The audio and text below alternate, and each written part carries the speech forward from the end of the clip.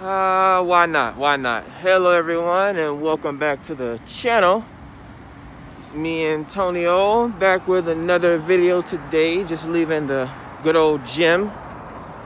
So sprinkling right now a little bit, you know, so I'm getting my little my natural cleanse, should I say.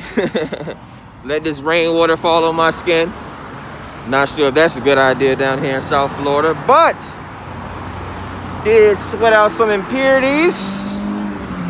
Do my little yoga thing now, you know, it's become like a a daily thing now. Like I always stretch and do yoga. but hey man, it helps uh, extend the muscles and stretch the muscles, helps with the breathing. Things that people typically see someone doing that may not look normal for, you know, their particular area. You know, of course, me being a a black guy from the hood, people that I grew up with look at me now and they're like, look at this guy. look at this man. so, um, it's not too bad. Spider webs. Yeah. Um, but yeah, man.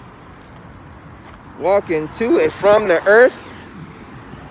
Getting my good exercise on, so, you know, trying to maintain my physical, you know, trying to maintain my physical. Had me some nice seafood earlier, right? If I'm gonna spoil myself, I gotta make sure I keep my body up and right. So yeah, I think we've uh, uploaded over uh, 300 videos so far, outside of the tarot and, you know, just randoms and things like that. I think I got a nice collection of videos hmm. I was gonna say maybe I should start taking things more serious. I'm not sure how more serious I can take things, you know, upgrading and leveling up, you know, camera equipment. Maybe uh, some new furniture as well, man. You know, these YouTubers, you know, I'm different. I don't go on people's page and steal their content. Sorry to bring that up again, but I have to steal people's content, you know. I, it's called investing in self.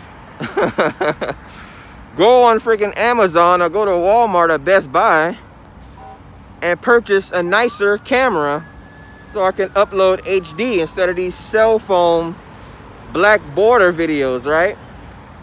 That's different from going on somebody's page and stealing their content and trying to make like it's yours. It's actually going and investing in self. You know? Dumping money back into the friggin' I was gonna say the community, but the I guess the continent, right? They try to make us seem like we don't contribute to society, we don't pay taxes, we don't do all this. Let me tell you, capitalism is a mug, and with black people being so enslaved and needing to find all these different things to make themselves feel better, Gucci this and Gucci that, I get so upset and roll my eyes when I'm out in public at the mall, passing by the Apple store, these Gucci stores. You know, you know, enjoy yourself, but don't enslave yourself. You know, they do all these these extra things. Then people will look at me like I'm some type of demon or devil worshiper, or is he really an angel? What is this guy? How old is this guy? is this an old man or is this a young boy? Like, very strange indeed you know no matter how much you try and help people. See when i came around with my happy face and i was the good guy and you know I always try to be positive for the most part you know people take advantage of that. So then when you become the bad guy people's opinion of you sort suddenly change because they fear you they hung Jesus up on the Christ because they wasn't afraid of him, but I bet they won't do that to the devil. Just like all these N-words out here, they want to shoot up the hood, but they won't pull their guns out on the police though. So, you know, different strokes, different folks. it's a lady. It's a freaking lady sitting in her car smoking a blunt right now. But you would arrest me as a man and lock me up as a man, right? But the women get to do whatever they want to do, parked out in the, in the, in front on Front Street with a blunt bigger than what I smoke, sitting in her car chilling, texting on her phone. See what I mean? But you wouldn't have believed me if I wouldn't have recorded it. You probably ain't even get it on video. I probably ain't even get it. But um, you know, different strokes for different folks, and it's not such a bad thing. It's a freaking herb. She's sitting in her. She, I've seen her before. To be honest with you, I've just never spoken to her. I'm not sure if she's homeless, but I've seen her in that exact same spot before, over the past year. So I'm, I'm pretty sure she probably sleeps in that car, and that's her spot every day. And her way of dealing with things is smoking marijuana. Ironically, when I got out of jail for that one night, freaking blemish on my record, I actually saw another dude that was homeless with his shades on, carrying his book bag around, rolling up on the bus. So these is the way our people deal with things versus, you know, not saying that that's right, but versus someone running around knocking someone up upside their head because they don't, you know, whatever the case may be, they don't, they're, they're not able to cope with certain things. like again, if you want to end a war in a country, freaking drop a whole bunch of herb. y'all import herb so much in this country. y'all sneak it in so much and then y'all arrest people for selling it. Go drop a freaking herb bomb on top of one of these countries and make everybody bliss out. yeah, my mind works in strange ways sometimes. but again, I'm not an uh, evil person. I just like to polarize things to make people understand a little bit better. You know, the greatest teachers are pain and embarrassment from, you know, at least from my perspective. You know, I went through a liver transplant, plant, one of the biggest pains a person can go through in their life. Women think that it's painful to go through childbirth. it's rare you find men out there that's been through things worse than you. Three times worse than you you know. Again, folks, twice, three times my age, haven't gone through the things that I've gone through in my life. I'm not sitting here and brag, but when I talk about adding value and what do I bring to the table and what type of experience do I have and why do I act like this, why I'm not out running the streets like everyone else, it's a whole different vibe. I'm telling a whole different bedtime story here. So, again, I'm not literally Lucifer. you know anything about astrology, the Libra sign? Do your own research. I can't call myself Lucifer, but half you fools running around idolizing people that's not even in your culture. Bruce Lee's and Mariah Carey's and all these other people's. like, it's okay to be yourself at the end of the day. When I when I come out of the gym after a freaking two hour workout, I come right out of the gym and take my shirt off as I'm walking home. Don't get offended or triggered by something like that. You do not have to get upset about something like that. But yeah, that's all it is, man. People call themselves a lot of things. People name themselves a lot of things. I think these rappers are moving out of the age when they naming themselves Lil. I think Big Sean killed the game when he came out and called himself Big, even though he was the smallest dude out there.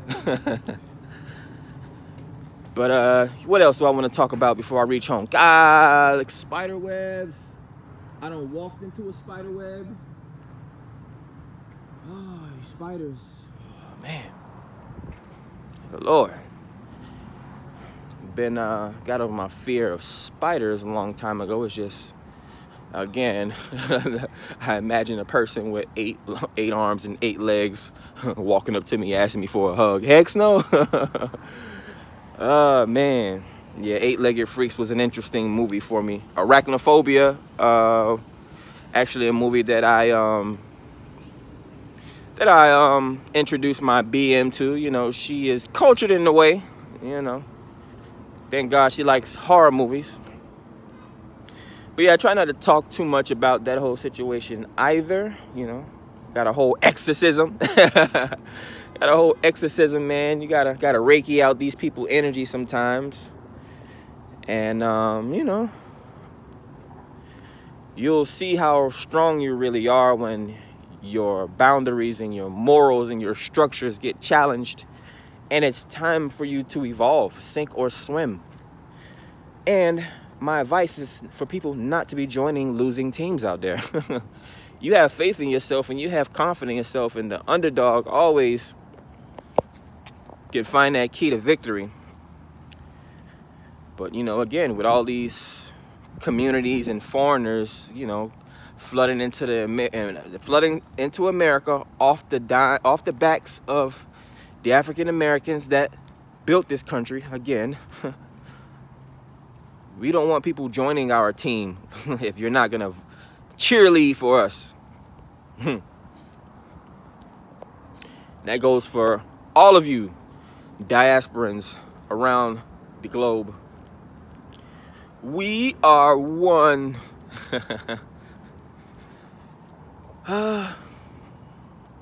that's pretty much it. Think I'm done ranting. Again, this was an impromptu video. Going back to the days where I used to shoot in the nighttime in my backyard. This is a little bit too dark though, right? Walking down the street. no lights on. Any takers? Anybody want to rock my snock box? Because I just came from the gym and I'm probably very intimidating right now again, I just have this very strange way of swelling up really big after I go to the gym. Very interesting. But uh, yeah, man. These these things that we come into, these ways that we find ourselves, or we finally we finally make something of ourselves and this could be for anyone. We finally make something of ourselves and then you start to question it again as if it's not meant for you. Um, you know that whole i'm not worth it that whole self-fulfilling prophecy of doom you know the doom and gloom of things you know the loom of fate. Um,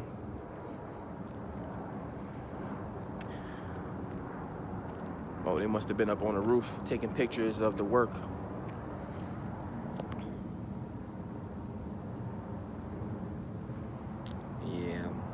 losing my train of thought, guys. sometimes the memory is like superhuman, and then sometimes the memory is not so good. That's one of the symptoms of a spiritual awakening. sometimes it's a gift and a curse, man. You're just blocking things out. That's the thing with people in memory. Um, what really hurts you or really binds you or what really is people. People sit and think about they don't release their memories. They let memories from 10 years, 20 years hold on to them. So imagine reincarnation.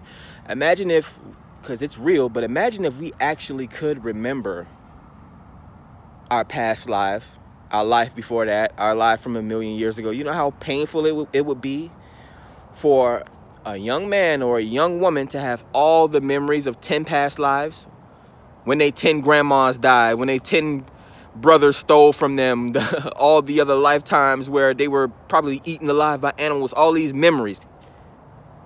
Imagine. And that's why when we die, and that's the whole conversation about reincarnation. Oh, why don't we remember things? And whoa, whoa, whoa. You couldn't handle 10 lifetimes worth of pain.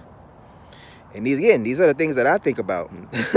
these are the things that I think about as a scientist, as a spiritualist, and this and that.